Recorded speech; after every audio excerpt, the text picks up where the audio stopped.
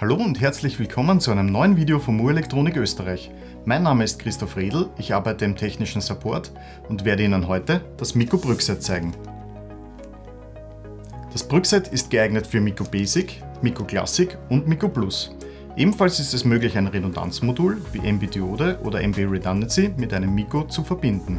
Mico Classic ist das intelligente Stromversorgungssystem von Mu Elektronik für Anwendungen im 24 Volt Bereich. Das Abschaltverhalten ist ausgelegt, dass so früh wie nötig, aber so spät wie möglich abgeschaltet wird. Die Module überwachen Ströme auf bis zu vier Kanälen, signalisieren Grenzlasten und lösen bei Kurzschlüssen oder Überlasten konsequent aus. Das Mikro Classic bietet Ihnen folgende Funktionen. Zwei oder vier Ausgangskanäle, einstellbare Strombereiche, Ferneinschalten über ein 24 Volt Signal, potentialfreier Meldekontakt, minimale Verlustleistung, Temperatur unabhängig und optimales Abschaltverhalten, so früh wie nötig, so spät wie möglich. Das Mico Basic bietet Ihnen folgende Funktionen. 4 oder 8 Ausgangskanäle, fest eingestellte Auslöseströme 2, 4 oder 6 Ampere. Es ist besonders platzsparend, 66% weniger Platzbedarf im Vergleich zu Leitungsschutzschaltern.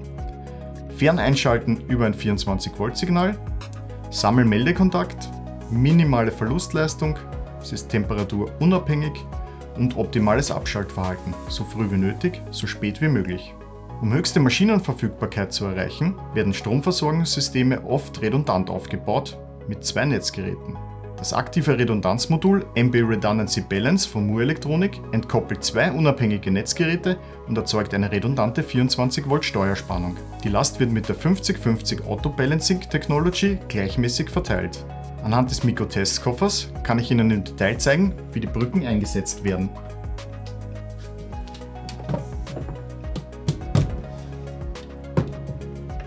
Das ist unser Mikro-Testkoffer. Ich setze jetzt als erstes die 24 Volt Brücke ein.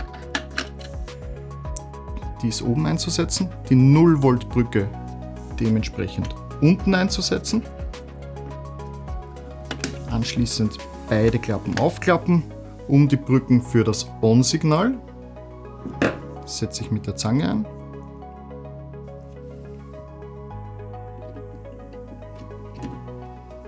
Und die Brücke für die Sammelmeldung.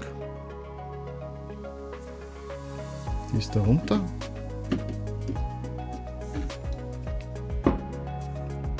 Dann den Deckel wieder zuklappen und das Brückset ist fertig eingesetzt.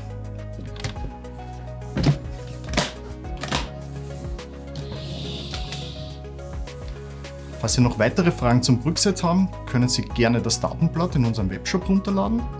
Da finden Sie auch Informationen, wie man das Brückset einsetzt, nochmal in einem Bild. Falls Sie Fragen zum Mikro-Testkoffer haben, können Sie gerne unseren Vertrieb kontaktieren. Der kommt gerne vorbei und führt das Mikro-Brückset bzw. die Funktion des Mikro bei Ihnen direkt vor.